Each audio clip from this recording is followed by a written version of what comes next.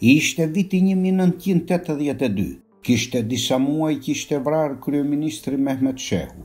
Në atë periudhë ndodhi një valë e tërë arrestimesh. Në prangat e policisë sekrete ranë njëri pas tjetrit në mënyrë të menjëhershme, arkitekti i sigurimit të shtetit dhe ish-ministri i Brendshëm Kadri Hazbiu. Feçor Shehu, Mihallaq Ziçishti, Llambi Ziçishti, Fiqrete Shehu, Gani Kodra, Ali Çeno, u fol dhe u trumbetua me forcë në atë kohë se të gjithë ata ishin anëtarë të një organizate të madhe kundërrevolucionare, e cila ishte drejtuar nga Mehmet Shehu dhe që kishte pasur qëllim kryesor për të eliminuar Enver Hoxhën. dhe të kthenin kapitalizmin në Shqipëri. Gjyqi ndaj tyre u zhvillua në ambientet e burgut të sigurisë së lartë numur treqind e trembëdhjetë, në kryeqytet. Çfarë ka ndodhur në prillin e vitit një mijë e nëntëqind e tetëdhjetë e tre brenda qelisë së burgut treqind e trembëdhjetë, ku pas tre tavolinave të vjetra ishte vendosur trupi gjykues i Gjykatës së Lartë, i kryesuar nga Aranit Çela?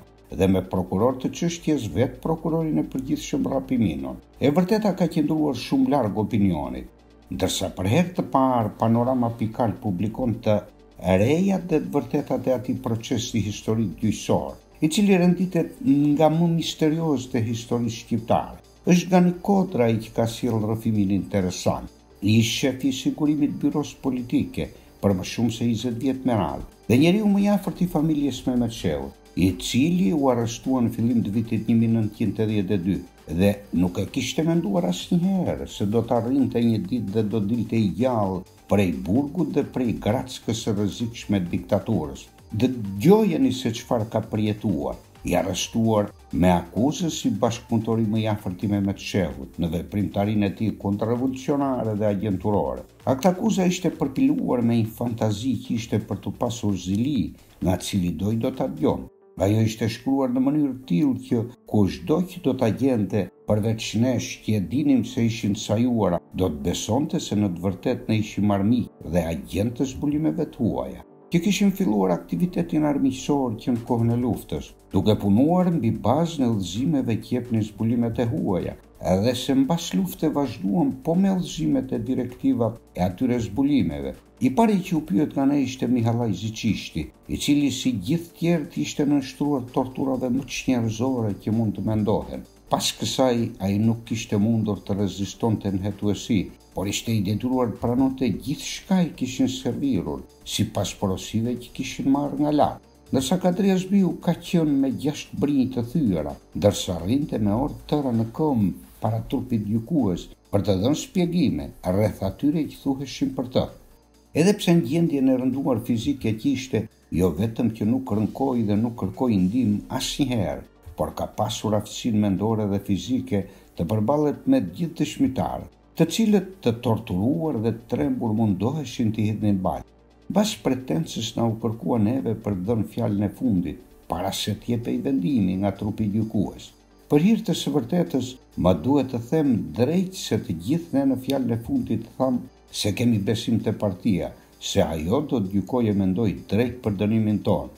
Vetëm Kadri Hazbiu në fjalën e tij të fundit tregoi edhe njëherë veten trim dhe i palëkundur në ndershmërinë e tij. Akoma edhe sot më tingëllon fjala e tij e fundit kur tha, Unë e dua jetën, e dua se kam grua, fëmijë, nipër e mbesa, por atë e dua të ndershme dhe jo kështu siç doni ju të më nxirrni të pandershëm. Prandaj më mirë i vdekur në ferr se sa të jetoj me ju. Me këto fjalë ai tha hapur se nuk kërkoi mëshirë. Unë për Kadri Hazbiun kam pasur respektin më të madh, qoftë në ballafaqim në hetuesi apo edhe në seancat e gjyqit. Nuk e kam rënduar, qoftë edhe me një shpifje, por më ka mbetur merak vetëm një gjë që edhe sot më vret në ndërgjegje. Kur unë në fjalën e fundit thashë që unë nuk kam qenë asnjëherë agjent i zbulimeve të huaja, nuk kam punuar ndonjëherë për të rrëzuar pushtetin, se çfarë kanë pasur në plan këta spiunë, unë nuk kam ditur gjë. Këtë unë nuk duhet ta thosha kurrë, për faktin se të akuzoje Kadri Hazbiun se ishte spiun ishte e pandershme nga ana ime. Unë isha pikërisht ai që e njihja më mirë se kushdo tjetër Kadriun, pasi për më tepër se dyzet vjet ai më kishte rritur në punë si drejtues që e kisha bindja ime dhe faktet që kisha për ndershmërinë e tij e drejtësinë e tij ishin absolute, kjo nuk më lejohej të shprehesha në atë mënyrë si për atë ashtu edhe për Mehmetin, por gjendja në të cilën ndodhesha dhe presioni i fortë që kisha Më bënë që të thosha ato fjalë, që ishin jo burrërore, e them me sinqeritet që më vret ndërgjegja. I çuditshëm ishte fakti se ai vendim i trupit gjykues, ndër të tjerët, urdhëronte edhe ekzekutimin e Llambi Ziçishtit, pasi e dënoi atë me vdekje me pushkatim. Domethënë se paguante për të vëllanë, Mihallaq Ziçishtin, sepse ky i fundit, kur kishte parë kufomën e Mehmet Shehut, Si mjek ekspert, kishte shprehur dyshime për vrasjen e tij. Jo vetëm kaq, por ai kishte dhënë me shkrim se nuk bëhej kurrsesi fjalë për një vetëvrasje. Për mua, shprehet dhe shkruan ndërkohë ai, kjo është një vrasje, pasi nga plagët dhe gjakun që shoh nuk bindem. Por më vonë, nga frika dhe presioni, ai u detyrua ta ndryshojë dhe ta mohojë thënien e parë, duke pranuar versionin zyrtar. Enver Hoxha, për të eliminuar çdo dyshim dhe që të mos qarkullonin më vonë fjalë të dyshimta, dha urdhrin që Llambi të pushkatohej. Ndërkaq, Mihallaqin, mbi të cilin rëndonin akuza disa herë më të rënda se mbi Llambit, Enveri e kurseu, duke nxjerrë arsyen se gjoja të mos pushkatoheshin dy vëllezër. Kështu përfundoi gjyqi ynë torturues që zgjati gjashtë ditë. Sot duke analizuar gjitha gjërat siç janë, zhvillimi i hetuesisë, mënyrat dhe metodat e përdorura gjatë saj, akuzat e bëra për secilin nga ne, pavarësisht se nuk kishin asnjë bazë për gjëra të fantazuara, presionin dhe torturat për të pranuar me çdo kusht, ato që na thuheshin si dhe nxjerrje të gjithë dëshmitarëve të përgatitur nga hetuesia për ato që duhej të thonim në gjyq, me qëllim që të akuzohej njëri dhe tjetri, pa pasur asnjë fakt konkret, vetëm se gënjeshtra. Arrij në disa konkluzione që do të mundohem t'i shtjelloj sipas mendimit tim. Sipas porosisë dhe urdhrit të Enver Hoxhës, gjatë zhvillimit të hetuesisë duhet të dilte me çdo kusht, fakti se ka ekzistuar një organizatë kundërrevolucionare, e krijuar dhe drejtuar nga Mehmet Shehu dhe Kadri Hazbiu.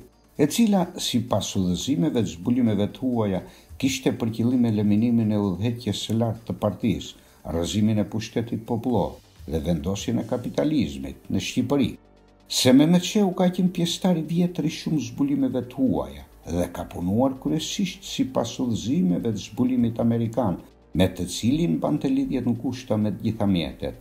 Lidhjet me të i mbante për shembull me radiotransmetues, me anën e djalit të tij, Skënder Shehut, që e kishte për studime në Suedi, si dhe me anën e gruas së tij, Fiqret Shehut.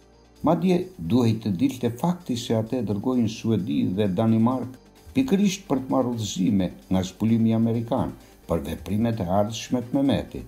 Se Kadri Hazbiu duke qenë agjent i jugosllavëve dhe i sovjetikëve ka qenë krahu i djathtë i Mehmet Shehut. Mbas goditjes së Mehmetit me porosi të zbulimeve të huaja duhet të merrte drejtimin e organizatës, të ruante anëtarët e saj dhe të takonte në mënyrë sekrete Mehmet Shehun, për t'i dhënë atij porosinë që i kishin dhënë zbulimet e huaja. Ajo porosi kishte të bënte me atë që ai për hir të punës Dhe për të ruajtur organizatën, ai të gjente rrugën e eliminimit të vetvetes. Ja pra, ky ishte rrëfimi i Sadri Kodrës. Ishin vitet e diktaturës, kur populli përjetonte varfërinë dhe frikën e të nesërmes, ndërsa komunistët vrisnin njëri-tjetrin, për kolltukët e privilegjeve. Faleminderit.